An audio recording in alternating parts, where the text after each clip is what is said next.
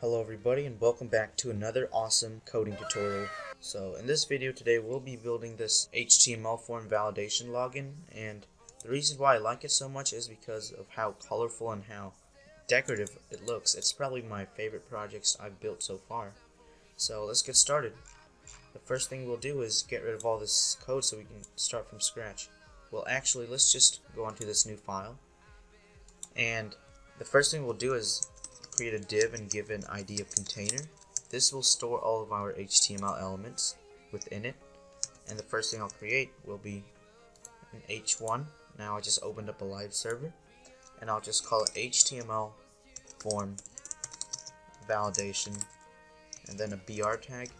And then the word login. So now if we save and refresh, we have those words appearing on our browser. And then once we're done with that, we can go grab this right here if we want to use these links, then you'll have to copy and paste this link into your program in order for it to work. So it's basically the Font Awesome link.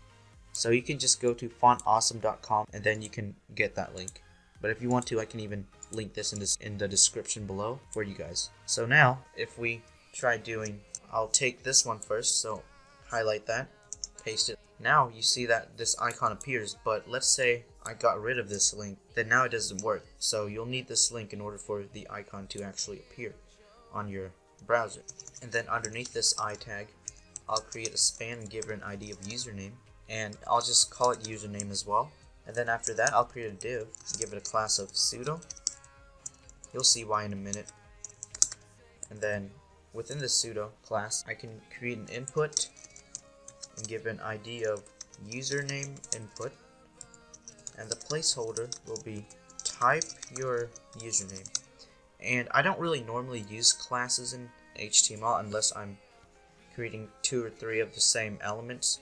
So that's why I'm going to do that. And then a BR tag, which forces it to go into the new line. And then we can take this one right here, the lock icon, so paste it right here. And then underneath that, I can create a span, give an ID of password, and I'll name it password as well. So now we refresh, the word password is right next to the lock icon, to the combination lock. And then after that, I can create another div also with the class of pseudo. This is what I mean when I use classes in HTML. And I'll create an input as well and call it password.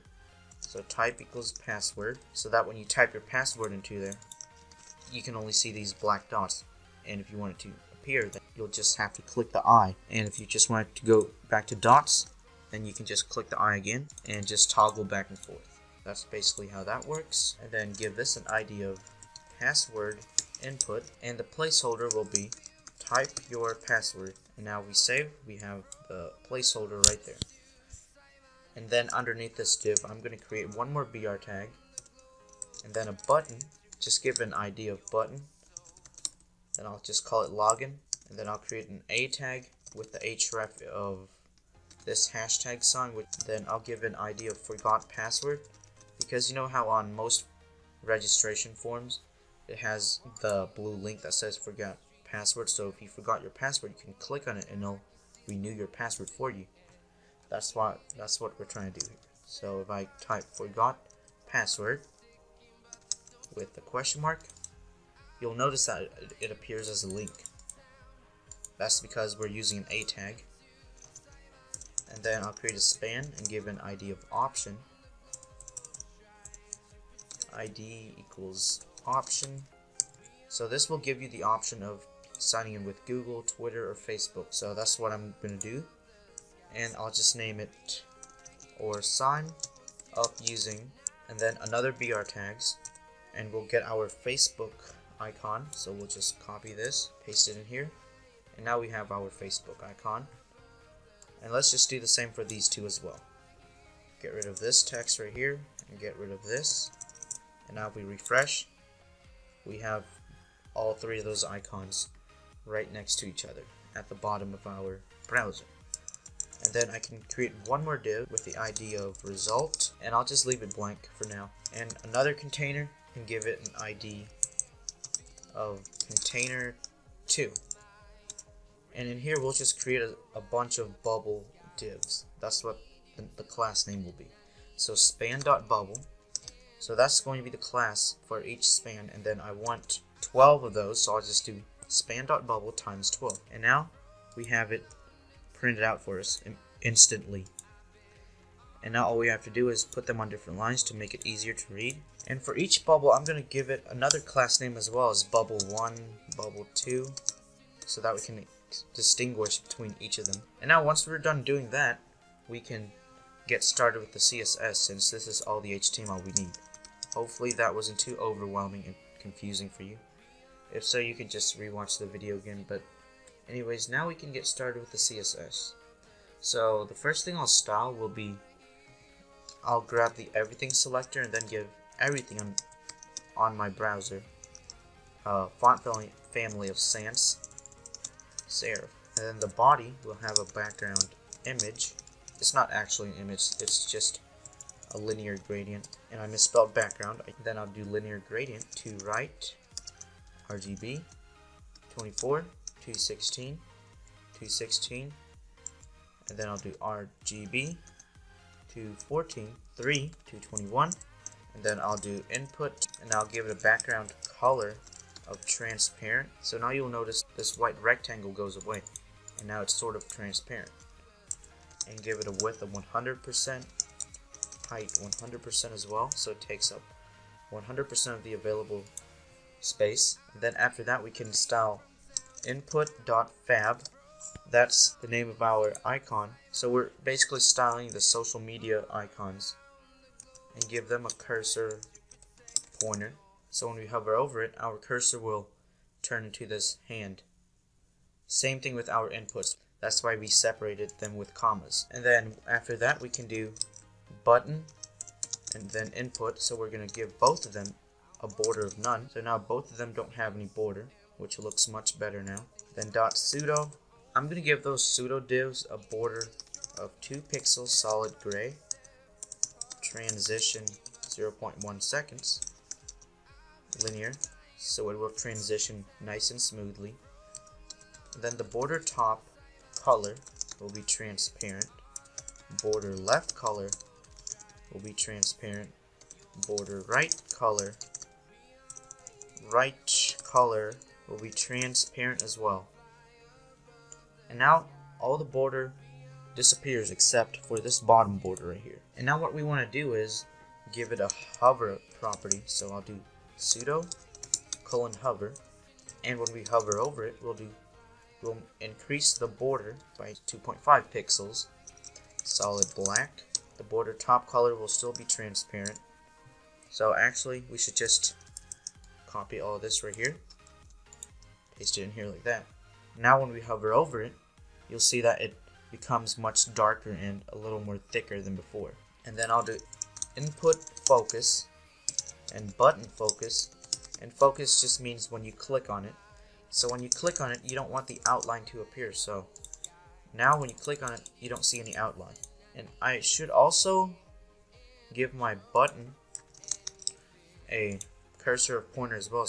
And then I'll style my container, my first container, not container 2 yet and give it a position of absolute, top 10%, left 34%, background color RGBA 255, 255, 255, 0.8. So this is basically white with an 80% opacity. So if I change this to 1, which is its normal color, you'll notice that it's a little harsher, but when you put something less than 1 like 0.8, it blends in with the background and looks much more colorful and not as harsh. And then we can do border radius 7 pixels so we're going to round its corners off by 7 pixels so it's no longer 90 degrees. And then I'll do padding 30 pixels, height 390 pixels and we also have to style our button so I'll give it a border radius of 20 pixels width 100%, height 40 pixels, background image linear gradient. It's basically the same color as the body, so I'll just copy this right here and paste that in for the button. So I'll just paste it like that. And now you'll notice that it looks sort of transparent on the form because it's the same color.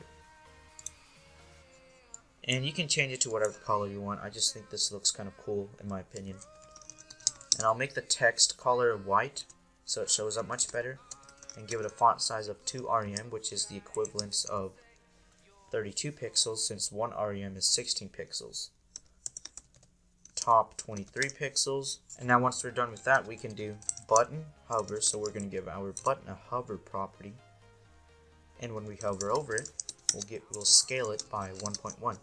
So it's going to increase in size by 10%. And the border will be 2 pixels solid blank. So now when you hover over it, it gets bigger and it also gets a border. And for our H1, we can do text align center. So we just want it to be in the center of our container. That's basically that what text align does. Then for each of our social media icons, which both which all three of them has a class of dot .fab, I'm going to move it left 86 pixels and obviously it's not working because I'm not doing position relative. Then top 30 pixels which will just move it away from the top 30 pixels and I'm going to scale it by scale it by 2.3 pixels. Just 2.3 and then I'll do margin 20 pixels. And then after we're done with that we can style our forgot password element and give it a font size of 0.8 rem so 0.8 times 16 is roughly 13 so it's going to have 13 pixels for its font size. And then I'll do left 236 pixels. Bottom 60 pixels and it's not working because we forgot to give it a position of relative now it should move to the right place which is right here. And also, we should even get rid of the, you see how it's underlined? We don't want that. So we can do A, that's, we're selecting our A tag, and the text decoration will be none.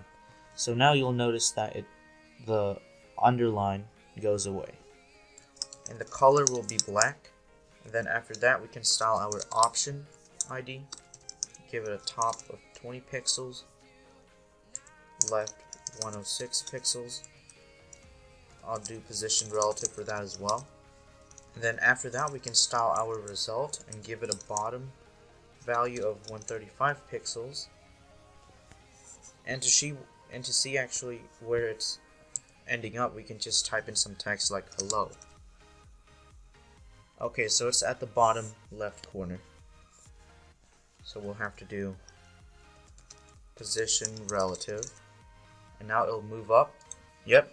So that's just, we're just to keep that there for now to help us see where it ends up. In case it goes somewhere we don't want it to go.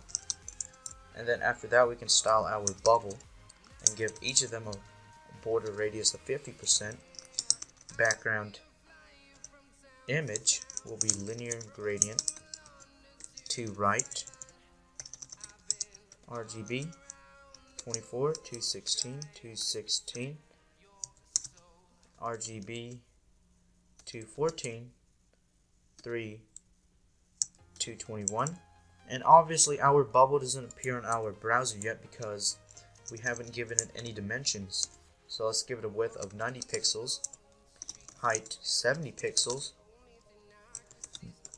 margin 14 pixels, box shadow inset 003 pixel white. And then I'll also give it an animation of animate that's going to be the name of it. 0.8s which is just short for 0.8 seconds. That's how long it will run the last is infinite. So it will go on forever. That's why I typed infinite. And then after that we can style our bubble our result div the option forgot password dot fab hashtag button and give them all a position of relative and now we can call our animation by typing keyframes and the name of our animation which is animate.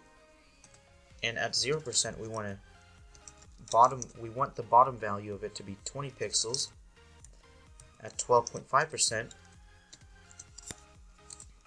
it's going to move from the bottom 40 pixels. So 12.5% is one eighth of the animation. So that's why so that's what I'm doing. I'm going to change it at every one eighth increment intervals of the animation. So I'm going to change it at one at every time it finishes one eighth of the animation. So at 25% the bottom value would be 60 pixels. 37.5% the bottom value will be um, 80 pixels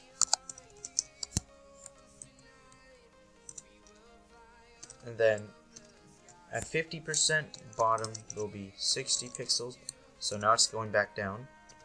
62.5% it will be 40 pixels. 75% it will be 20 pixels. 87.5% it will be 0 and then once it's complete it's going to be negative 20 actually you know what? Um our animation isn't appearing in our browser for some reason. I don't really know why and I can't seem to find the error so I'll just get rid of it and get rid of this container as well so we don't need it. And now we can get started with uh, JavaScript. Since our animation isn't working I don't know why though but hopefully it'll work for you guys and you guys will be able be able to figure out the problem.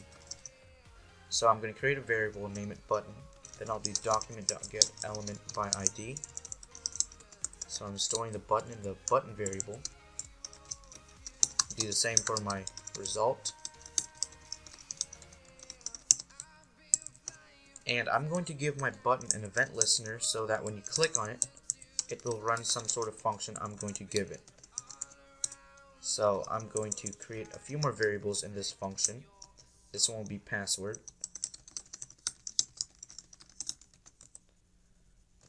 And the id was password input dot value. And we'll just do the same thing for our username. Username input dot value. Then we can do var speech equals new speech synthesis utterance. So this speech API allows us for our computer to talk allows our computer to talk so we'll give it a speech dot rate of 1.3, so we'll be talking 30% faster than it usually does.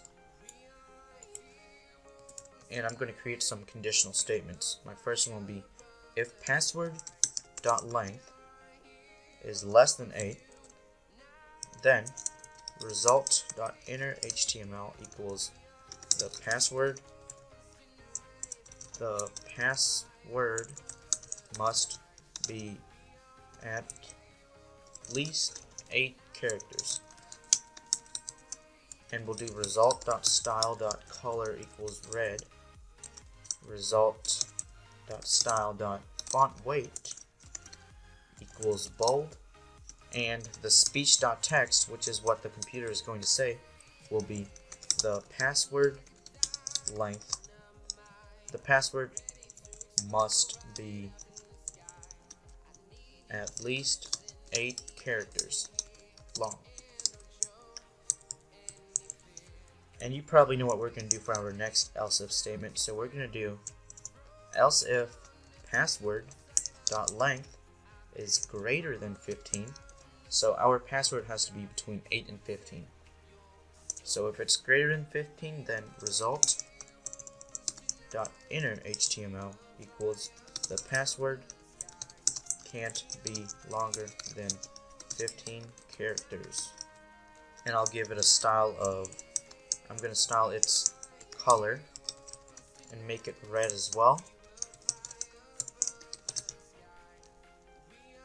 And give it a font weight of bold. And then the speech.text will say the password can't be longer than 15 characters. And then one last else if statement. So this one will be else if password dot length is greater than or equal to 8 and password dot length is less than or equal to 15 so this is checking to see if our password matches its requirement so if it does then result.innerHTML equals your password is valid. And then result.style.text align equals center. result.style.color equals green. Because it's working so it's going to turn green. result.style.font weight it's also going to be bold so actually this is kind of redundant we don't even have to keep typing this over and over again so we'll just type it once in the C in the CSS so we can find our result element. I'll just call it so result.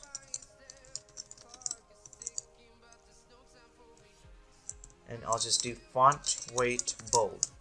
And make sure you don't forget to type this very important line in order for your computer to actually start talking. So we'll do window.speech synthesis dot speak. It will speak the speech. So it's going to speak this variable right here. The password must be at least 8 characters so now long. Save and refresh. You'll, let's say I just type in my username. I'll just type in Kenny and for my password I'll just type my last name. And maybe some more characters, so that is valid. Now it's going to say my password is valid, but it's not speaking it because I forgot to do speech.text equals your password is valid.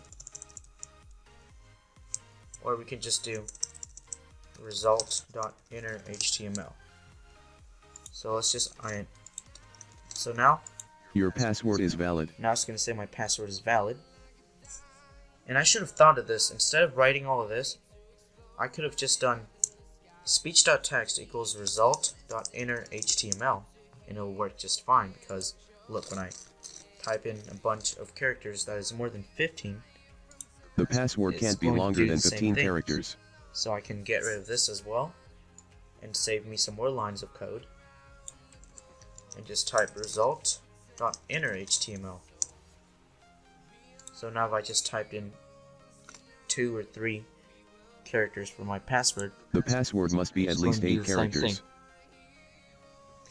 so this is it for the project I hope you guys thought this was cool because it, and if you have any questions about speech API or things like that Post them down in the comments section below and I'll get to you as soon as possible. Thanks for watching I hope to see you again in my next video.